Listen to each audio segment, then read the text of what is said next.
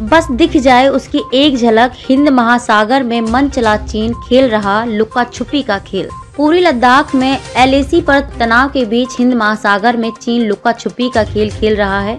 अगले हफ़्ते भारत लंबी दूरी की बैलिस्टिक मिसाइल के टेस्ट की योजना बना रहा है। लेकिन उससे पहले हिंद महासागर क्षेत्र में चीन के एक और जासूसी जहाज़ ने एंट्री की है।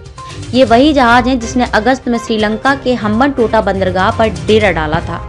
जिसके बाद नई दिल्ली और कोलंबो के बीच कूटनीतिक विवाद भी हुआ था। चीन के जासूसी जहाज़ युआन वेंग फाइव ने सोमवार सुबह इंडोनेशिया के सुंडा जलर मरु मध्य के ज़रिए हिंद महासागर में दस्तक दी। सतर्क भारत ने उसे तत्काल ट्रैक कर लिया। रक्षा मंत्रालय से जुड़े सूत्रों ने हमारे सहयोगी अखबार टाइम्स ऑफ़ इंडिया को बताया कि उसके बाद से ही भारत, चीन के इस रिसर्च और स्पेस ट्रेकिंग जहाज़ की हर हलचल पर करीबी नज़र रखे हुए हैं। बीस हज़ार टन वजनी युआन वेंग फाइव जासूसी उपकरणों से लैस है। उस पर विशाल एंटीना एडवांस सेंसेस और इलेक्ट्रॉनिक उपकरण लगे हुए हैं, जिस पर करीब 400 क्रू मेंबर तैनात हैं।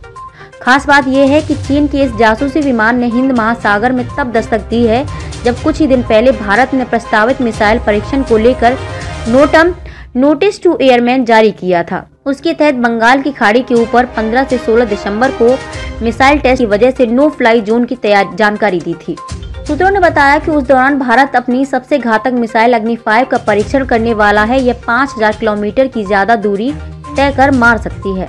अग्नि फाइव को tri service strategic forces command SFC में शामिल किए जाने की प्रक्रिया चल रही है। तीनों चरणों वाले अग्नि फाइव का पहला यूज़र ट्रायल अक्टूबर 2021 में किया गया था।